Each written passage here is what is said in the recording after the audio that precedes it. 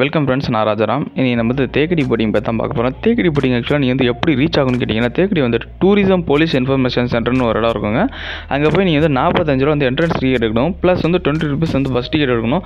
உங்களோட ஆட்டோவில் வந்தாலும் சரி ஓன் வெஹிக்கில் வந்தாலும் சரி அது வரைக்கும் தான் வரதுக்கு வந்து பர்மிஷன் உண்டு. அதுக்கப்புறம் போகிறதுக்கு பர்மிஷனே கிடையாது.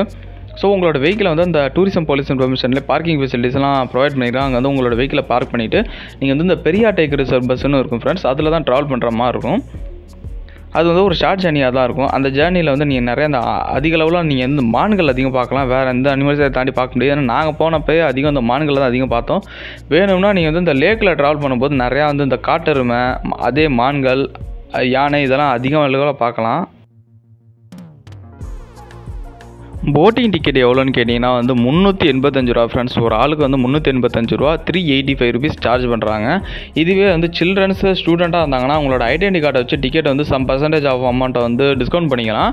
அங்கே போய் கேட்டுக்கோங்க. இருந்தாலும் நீங்கள் வந்து ஐடி ப்ரூஃப் ஐடென்டி கார்டெலாம் எடுத்துகிட்டு போனீங்கன்னா உங்களுக்கு கூடுதல் அட்வான்டேஜாக இருக்கும். ப்ளஸ் நீங்கள் வந்து இப்போ கேமரா இதுக்காண்டி தனியாக வச்சுருந்தீங்கன்னா அதுக்கும் தனியாக டிக்கெட் எடுத்துக்கோங்க. டிக்கெட் எடுக்காமல் நீங்கள் வந்து போனீங்கன்னா வந்து பெனால்ட்டி சார்ஜ் பண்ணுறதுக்கான சான்சஸ் இருக்குது ஸோ டிக்கெட்டை மறந்துடாமல் எடுத்துக்கோங்க ஃப்ரெண்ட்ஸ் கேமராவுக்கு